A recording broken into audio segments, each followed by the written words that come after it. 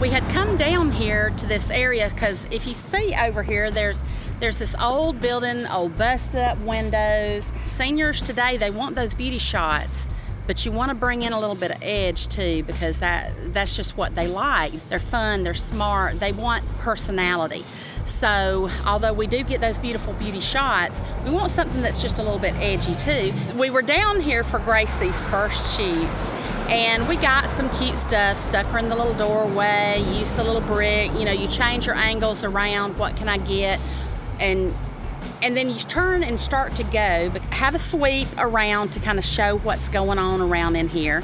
And um, it's not something that you think okay well we got our spot that we wanted. And did anything kind of come to mind when you saw that little sweep? Was there something that you thought, oh, that'll be good?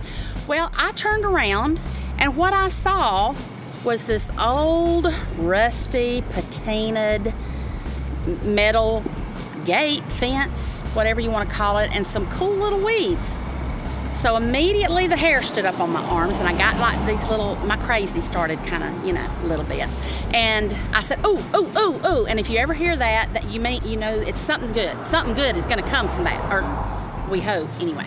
So I turned and I saw that and I had her sit down in the midst of all this, cars going on, uh, you know, electrical poles, uh, train track, uh, old broken down cars and yet you're given this little gift of this really, really, really old fence. So I'm gonna show y'all what we did and what we can get from it. Gracie, if you don't mind, go and take a seat.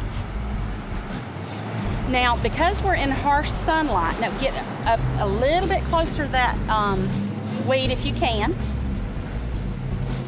You're probably gonna have some some stuff sticking. Now, we've got this harsh sun here, so of course we're gonna want a diffuser or something, but we also wanna watch that that diffuser's not gonna really take off my shadow off the ground, so I have to kind of maneuver around and see what I can do. So as I'm positioning her, I'm, I'm seeing this shot in my mind. I wanna go ahead and figure out what I'm doing, where her arms are gonna go in the shot, how her head's gonna go in the shot, and you know, what my settings need to be, stuff like this. So I would generally do a diffuser, but for this one, for the sake of it being quick and easy, we're gonna go ahead and get, get the reflector, actually. Okay. Now, this is not gonna be optimum, and I'll actually cheat and show y'all the shot that we got originally. You'll see that my weed back there, our little happy weed, you know, as Bob Ross might say, our little happy weed back there was really lots prettier when we shot the first time. So because I don't like that really definite hard, hard, hard light there, I'm gonna move in a little bit and not necessarily get the arms, okay? So I'm still down at about 1.8. We got our eyeliner up under there and Gracie is all like relaxed. Jenny, if you will, come in closer. Now I wanna get just that face. Close your eyes a minute. Oh gosh, y'all.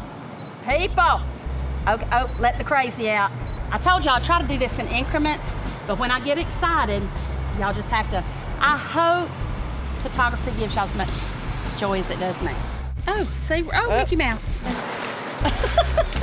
well, there we go. Oh, I'm sorry. My friend Jason has a way to do this. Oh. I have got to watch his video on how to do this. Let's not because, video me doing Well, there is something oh. oh, it's so much fun. Let's see here.